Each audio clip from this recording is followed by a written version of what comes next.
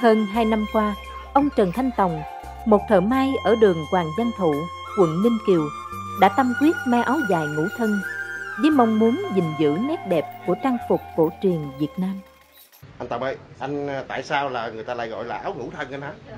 áo ngũ thân á thì cái bản thân cái tên của nó là là là là đó là ngũ thân rồi thì nó phải là năm thân thì năm thân á có nghĩa là ở phía trước này nó phải hai thân đường này và đây hai thân là thân sau nó cũng phải là hai thân hai thân nó có nói ở chính giữa thì gọi là hai thân. Và cái thân thứ năm á, là cái thân là cái tà con là cái thân phía sau này phía trong này thì người ta gọi là năm thân. Như vậy thì năm thân nó có cái ý nghĩa như thế nào anh? năm thân nó có ý nghĩa đó hai thân trước và hai thân sau. Người ta gọi nó là tứ thân phụ mẫu đó. Có nghĩa là hai thân trước này nếu mà người nam bận thì là ừ, cha mẹ ruột phía sau là cha mẹ vợ ha. Còn cái thân con á là tượng trưng cho người bận mà khi mà họ bận vô thì cha mẹ sẽ ôm ấp lại con của mình. Anh ơi, như vậy thì cái hàng nút này nó lại có ý nghĩa gì anh? cái hàng nút này á cái áo này á khi mà may vô á thì không được bốn nút và không được năm sáu nút. Nó phải là năm nút. Năm nút này á nó là nhân lễ nghĩa chí tính. Theo theo người xưa đó để lại đó là nhân lễ nghĩa chí tính. Với ý nghĩa đó, nhiều người quan niệm rằng một khi mặc áo dài ngũ thân là khoác lên người đạo nghĩa ở đời, tự săn mình không được làm điều gì trái luân thường đạo lý. Còn với ông Tòng, may một chiếc áo dài ngũ thân phải bằng cả tâm huyết và tình yêu. Cách đây hơn 2 năm, ông Tòng xem được bộ phim tài liệu về văn hóa thời nhà Nguyễn ở nước ta, thấy các nhân vật mặc lễ phục đẹp quá nên tìm hiểu.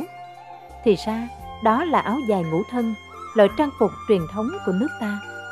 Càng tìm hiểu, ông càng bị thu hút bởi chiếc áo đặc biệt này và mài mò mai theo.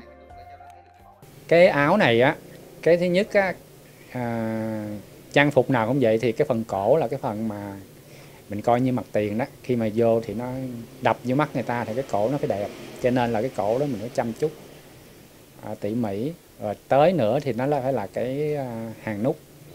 À, nút nó càng đẹp càng tỉ mỉ càng nhỏ thì cái áo nó càng đẹp chứ nếu mà làm làm cái nút ừ, to quá thì nó sẽ bị thô cái áo Anh Nguyễn Duy Linh là người hỗ trợ ông Tòng rất nhiều trong may áo dài ngũ thân.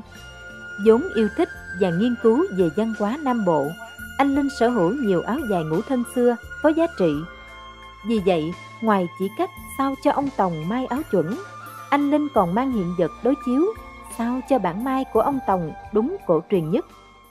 Được biết thì ở Cần Thơ thì có chỗ anh Tòng này mai thì em rất là thích những cái trang phục anh mai thì ban đầu ảnh mai cũng chưa được đẹp đẹp lắm nhưng mà khi mà hai anh em trao đổi với nhau thì những cái tư liệu em sưu tầm được trong những cái quá trình nghiên cứu như vậy á thì giúp đỡ cho ảnh để ờ, chỉnh sửa hoặc là thay đổi một số cái chi tiết giúp cho cáo nó đẹp hơn.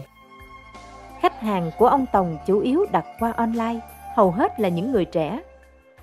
Thật ra thì à, theo một cái à, người bạn của mình đã giới thiệu mình tới đây thì à, mình chỉ nghĩ là ở đây là áo dài bình thường, giống như là áo dài hai tà thì ở ngoài đường ta hay mặc đó nhưng mà khi mà lại đây thì mình thấy áo dài mình rất là bất ngờ, tại vì hồi xưa tới giờ mình mới từng thấy ở ngoài, chứ mình chỉ thấy ở trong phim thôi. cái áo dài á thì cái thứ nhất là tôi cảm thấy tôi thích và mình muốn may và mình muốn giữ lại cái nét uh, truyền thống của ông cha mình hồi xưa và để lại uh, cho các bạn.